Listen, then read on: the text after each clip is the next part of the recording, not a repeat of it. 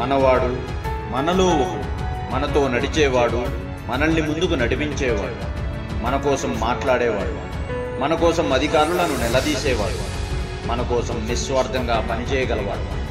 అనగారిన మన జీవితాలకు ఆసరా కల్పించినవాడు. బలం లేని మన నమ్మకాలకు భరోసా ఇవ్వగలిగిన వాడు మన మనోహరం చిరునవ్వుతో మన హృదయాలలో చిరస్థాయిగా నిలిచేవాడు మన మనోహరం ఎక్కడో రాజధానికి పరిమితమైన అభివృద్ధిని మన తెనాలి రప్పించిన వాడు మన నాదెనల నాయకత్వం అంటే దారి పొడవునా నడవటం కాదు. మన బతుకులకు దారి చూపించడం మన తెలిసిన వాడు మన నాదెనల అధికారం అంటే అవసరాలు తీర్చుకోవడం కాదు. బాధ్యతగా అందరి కష్టాలను దూరం చేయడం అని తెలిసిన వాడు మన నాదెనల తనొక్కడే మార్గం దాటేవాడు కాదు. మనందరికీ మార్గం చూపేవాడు మన నాదెనల బడుగు బలహీన వర్గాలకు భరోసా ఇవ్వడానికి భావితరాలకు బంగారు భవిష్యత్తును అందించడానికి పాతిక కేజీల బియ్యం కోసం కాదు పాతిక సంవత్సరాల భవిష్యత్తును మన ముందుంచడానికి వస్తున్నాడు మన నాదెండ్ల మనోహర్.